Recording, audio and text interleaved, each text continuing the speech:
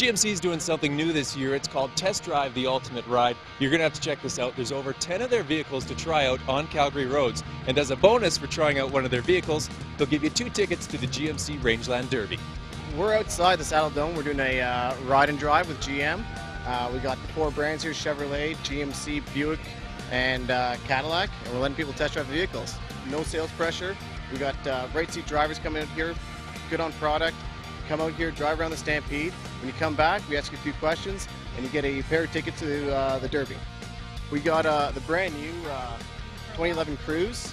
That's uh, brand new for 2011. We also have a 2011 HD 2500 Crew Cab, and that's uh, just here. That's the first time people are going to test drive it in Canada.